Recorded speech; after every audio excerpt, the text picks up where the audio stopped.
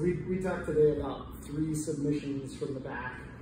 The first one is just good old fashioned rear naked choke, punch, roll.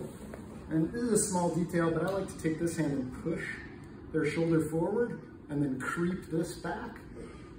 And then I like the short grip. There we go. All right. Then the next one, a lot of times they won't let you get your hand around this corner. So instead you just grab the lapel like that. And then you grab the other lapel. And, ooh, sorry, it's okay. I tighten this out. I've got this here. And I just, right, so that's if they won't let you around the corner. Rear naked choke's kind of my default.